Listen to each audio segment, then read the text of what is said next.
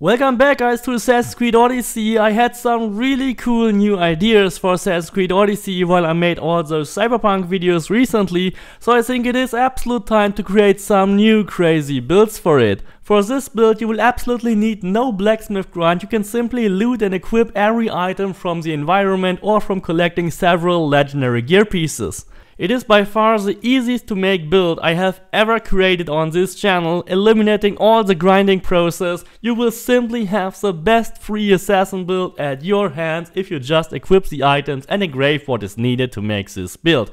You will absolutely be able to overrun mercenaries even on Nightmare with just a normal assassination or whatever you want to kill them with and you will also have the best free warrior build, easily killing every mercenary in just a single hit or creating overpower attacks in the range of 20 to 30 millions. And just look at those insane hunter skills, just a single arrow to kill all those mythical creatures. This build has over 267,000 warrior damage and 800,000 assassin damage. Of course it has 100% 100% crit chance, 625% critical damage and over 120% damage swords. And we are achieving all this by combining very easy to loot epic and legendary gear pieces. So this is in fact the best legendary, most easiest to make build I have ever created that even rivals and dethrones many of my existing epic builds.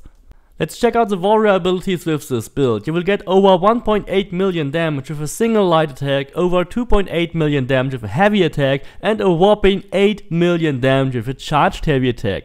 Ring of Chaos will be over 4.6 million damage, Fury between 13 and 14 million, and an overpower attack in an animation cancel will deal over 28 million damage.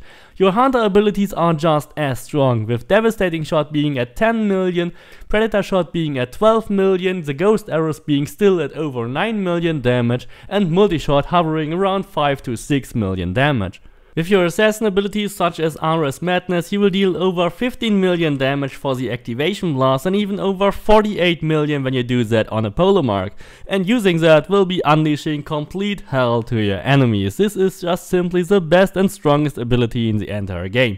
You can of course assassinate every enemy with just a normal assassination or rush assassination, even mercenaries will be no problem at all assassinating everyone until you get detected and then simply using Ares Madness to finish off everyone is probably the most rewarding playstyle and this build is totally perfect for doing that, since it is a perfect hybrid build with super high assassin damage, super high warrior damage and insanely high hunter damage. If you also want to support this channel or if you need personal build advice, please consider to become a Patreon or YouTube member, that would greatly help me out in creating these crazy builds for you. But now let's check out the build guys. We have 267,000 warrior damage for our left weapon and 804,000 assassin damage. This is crazily high considering the fact that we use legendary gear set pieces here. And the most important thing about this build is that we mix up all the best legendary gear pieces to combine it to the best possible outcome we can get. We completely ignore the set bonuses because the set bonuses only give you like 100% crit damage with abilities or just 10% crit chance and a minimal amount of critical damage. So we can completely ignore this and just get the better gear together to get more bonuses and actually make a better build than with any of those sets. And this is even better than using the main line set, better than the Spartan War Hero set or anything else, by just combining the best pieces with all the perfect engravings. Of course we also use the Bighorn bow because it is a free weapon when you use your 200 free credits to get it for free from the shop. It will increase your warrior damage by a factor of 1.6 by adding all its 6495 DPS to your left melee weapon. So this is increasing your damage by over 100,000 damage for your left melee weapon. It is very important to use it, otherwise you will be stuck around with only 160,000 damage. However, if you don't have that bow for whatever reason and you bought something different from the shop, I really still recommend you to get it, or you can use the Hades bow or the Achilles bow as a replacement, but then you have considerably less damage. So definitely get the Bighorn bow if you can. For our left melee weapon we will use Hater's Harper, which is a perfect warrior sword with warrior damage, critical damage and damage swords. Here we can engrave the 100% damage but health capped to 25%. However, if you don't like to have this engraving in your build, you can also use armor penetration instead. Hater's Harper can be found from the Friend and Need quest in Attica, just lie to Hater to keep the sword and then you have your perfect warrior sword. It is the best sword in the game and the only one you can loot with perfect stats. The other weapon will also be a perfect warrior sword. If you don't have a second one, you can also simply get the Sword of Action. It is almost as good as a second perfect one. However, it doesn't matter if you use this one or the Sword of Action, you should definitely engrave the convert 50% hunter damage to become all damage. Because when you use the bighorn bow, you don't need your hunter damage at all. In combination with the Corfu engraving, which gives you 200% damage to all three damage types, you can actually squeeze out another 100% damage for warrior and assassin damage if you use the Hunter conversion. The Hunter conversion is the only way to make your unused Hunter damage actually usable for your build.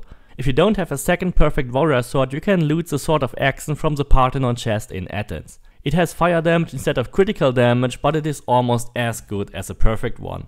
On the bighorn bow, we are left with no choice other than to engrave 10% crit chance because we need that to get 100% crit chance in our build. If you don't have the bighorn bow, you can consider to get the Hades bow or the Achilles bow instead. On the Hades bow, you should engrave 10% crit chance as well, whereas on the Achilles bow, you can go for anything else like armor penetration or whatever you would like to add in this build. The first piece of our mixed armor set will be Ezio's Roman Hood, because Ezio's Roman Hood is one of the very few legendary gear pieces that already have damage swords, and we can combine this together with 20% crit chance at full health. The fact that it has assassin damage doesn't really matter, because we have so much warrior damage from our 100% damage increases from our base warrior damage, that having one or two assassin damage perks doesn't really matter at all. The other two perks are much more important to get right here. The Ezio set is completely free, it's unlocked by Ubisoft Club and you should already have it in your inventory since the beginning of the game, so there is nothing to loot to get this. For the bracers we will use the Spartan War Hero gauntlets with warrior damage, 10% crit chance and we will engrave 100% critical damage at full health. To get the War Hero bracers you have to beat Silanos on Paros, which is a story mission and it is not missable. On our belt we will use the Amazon Tassets. If you play Alexios this item will be called Achilles Waistband, but it is the same item just with a different name and a different look. It has warrior damage, 10% crit chance and we will also engrave 100% critical damage at full health, so basically the same as on the gauntlets. It doesn't matter if you play with Kassandra or with Alexios, this waistband is always dropped by the cultist in the Temple of Poseidon in Attica. For our chestplate we will use a piece of the Spartan War Hero set again. The Spartan War Hero chestplate has warrior damage, 50% critical damage and here is the perfect spot to engrave the Corfu engraving with 100% all damage but minus 100% resistances. To get the Corfu engraving you have to solve the champion Ostraka on Corfu Island. Of course you could also use the epic Diocles armor instead if you have this item. The chestplate is dropped by the leader of Euboea, which is Skylax, and you can kill him at any time. Last but not least, we'll use the pirate treats for our legs. They have assassin damage, 20% crit chance at full health, and we can engrave another 100% critical damage at full health on them. The pirate treats can be obtained when you defeat the Mytilenean shark, which is sailing around south of Samos. If you're having trouble to beat him, just switch the game to easy difficulty. Combining all these items together will give us 624% warrior damage and 551% assassin damage. We have 120% damage swords, which is almost close to the maximum. We have 100% crit chance and 625% critical damage. So it really rivals all the epic builds on this channel by just putting all the best lootable pieces together in a single build. For the abilities we will use all the standard ones, we will start with Sixth Sense that slows down time and also helps you for your assassinations and your warrior attacks, gets the poison and fire arrows and then either use multi-shot, devastating shot or predator shot. Predator shot is the highest damage one and devastating shot is the easiest one to use. Totally get Archery Master for the additional Hunter damage which we will convert into Warrior damage which also refills your first Adrenaline segment. Put 1 point here into Overpower Bow Strike as a bridge and then go for 3 points on the Ghost Arrows. Gets a charged heavy attack, Weapons Master, Gear Master is now really useful since we play at full health and then you can get 3 points into Flaming attacks. Of course if you engrave permanent fire damage on your sword you only have to go for 1 point on the Flaming attacks because you have fire damage anyway. Gets a 40% fire damage from the Fire Mastery, then get the Overpower attack which will one-shot every boss in this game even with this build. Ares Madness if you have the Atlantis DLC, definitely a must-have. Fury of the Bloodline, the same, if you have the Legacy DLC, definitely get it. It still deals half the damage of an Overpower attack and refills 4 Adrenaline bars. Definitely get Ring of Chaos for crowd control and since we are playing at 100% health, you definitely now have to rely on second wind to heal your character because a torch glitch only works with reduced health. And in the assassin tree go for Shadow Assassin which gives you 50% critical damage and an increased assassin damage. Pick up Rush Assassination, critical assassination is not needed but definitely go for Stealth Master to reduce all the noises you make and your footsteps and increase your out of combat damage overnight. The basic mastery point distribution should be 12 points on hunter damage because we will also convert that damage to be warrior damage, then 12 points on crit chance, crit damage and also headshot damage. In the warrior tab we will go for 12 points on warrior damage itself, then another 8 points on fire damage, 8 points on armor penetration. If you don't have so many points you can actually skip those but here, most important, 15 points on damage sword, 15 points on the crit stuff, 12 points on the damage while full health, and also 12 points on health gained per adrenaline spent. That one is actually optional, so you can actually save those 12 points, and if you also save those points on armor penetration and fire damage, then you might only need 170 or 180 points to make this build. If you have more than 400 points, of course you can max out the hunter damage, you can max out the crit chance, crit damage and headshot damage, Go for a couple of points here on the Hunter stuff, Adrenaline, not consume special arrows and also damage of Hunter abilities. Then in the Warrior tab of course you will max out Warrior damage and further down we will max out Fire damage and Armor penetration and also put a couple of points on damage dealt restored as health alongside with a general increase for all our abilities.